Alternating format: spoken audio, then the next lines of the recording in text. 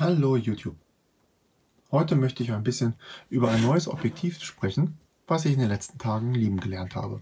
Das Viltrox AF 23 mm 1,4 für die Sony E-Mounts.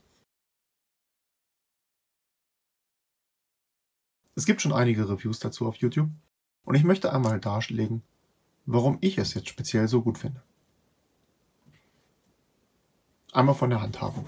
Das Objektiv ist aus Aluminium gefertigt. Und selbst, anders als bei Sony selber, ist die Gegenlichtblende auch aus Metall.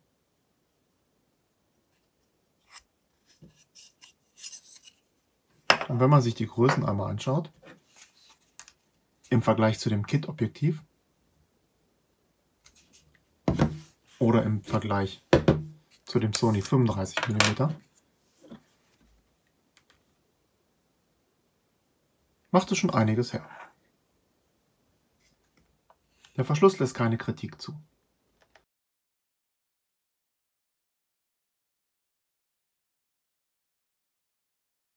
Das leichte Spiel, was es gibt, ist selbst bei den Sony-eigenen Objektiven vorhanden.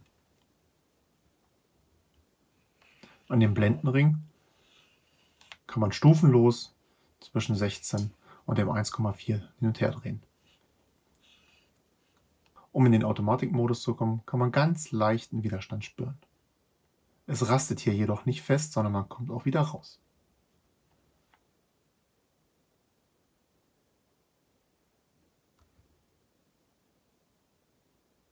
Dadurch, dass es sich um ein Autofokusobjektiv handelt, wird dieses auch voll von der Kamera erkannt und in den Bilddateien werden die Objektivinformationen gespeichert. Leider hat Lightroom und andere Programme bisher noch keine Presets dafür. Und die Presets, die man bei Wildrox auf der Homepage runterladen kann, hm, ich habe es nicht zum Laufen bekommen. Warum aber 23 mm 1.4? Ja, wenn man auf 1.4 dreht, gibt es Randabschattungen, Unschärfe in den äußeren Bereichen und ähnliches. In der Mitte ist es knackig scharf.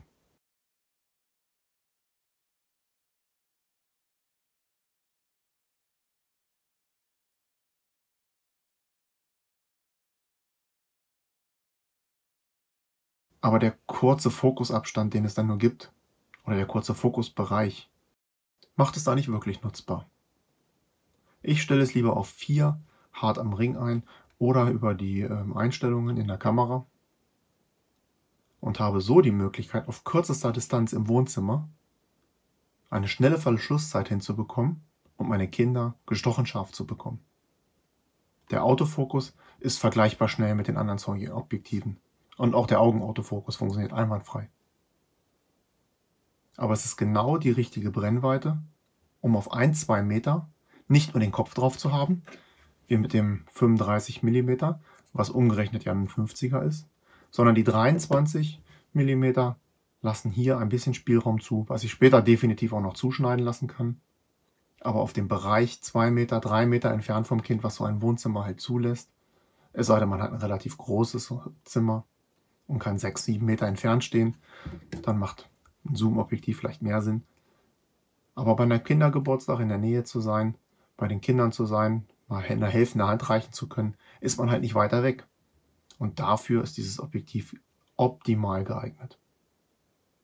Ich zeige jetzt noch ein paar Bilder, nicht in der Vollauflösung, sondern reingezoomt auf einige Detailbereiche.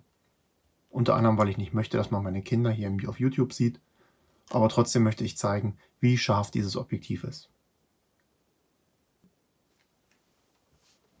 Natürlich könnte man noch ein anderes Objektiv nehmen, was lichtschwächer ist und dann mit Blitzlicht arbeiten. Oder mit einem Ringlicht, wie ich es hier habe oder auf meinem Kanal auch vorgestellt habe. Aber möchte man wirklich ein totgeblitztes Licht oder auch mit einem Bouncing Light, wenn ich es nach hinten geschaltet habe? Auf dem Kindergeburtstag finde ich das sehr störend. Und auch die Kinder gucken dann meistens recht komisch, wenn es irgendwo geblitzt hat. Und der ganze Spielspaß ist dahin. Und am Ende mache ich ja nicht nur ein Foto, was lustig ist, sondern um die Kinder zu fotografieren, schieße ich einfach dauerhaft. Und es wird schon das ein oder andere Gute dabei sein, wo wirklich zwei, drei, vier Kinder in die Kamera gucken. Das ist was anderes, als wenn man auf einem Erwachsenengeburtstag einmal ruft, hallo, alle hergucken, der Fotograf ist da und die ganze Tischreihe guckt her. Habt ihr ähnlich gute Objektive in der Preis-Leistungsklasse wie dieses Wildrox? Lasst es mich in den Kommentaren wissen. Und ansonsten habe ich das Objektiv natürlich auch mit meinem Affiliate-Link in der Beschreibung verlinkt und hoffe, dass wenn es euch auch gefällt, ihr das darüber kauft. Kostet euch nicht mehr, aber ich bekomme von Amazon da ein paar Prozent davon ab. Und wenn euch das Video und meine Meinung gefallen hat, lasst ruhig einen Daumen nach oben da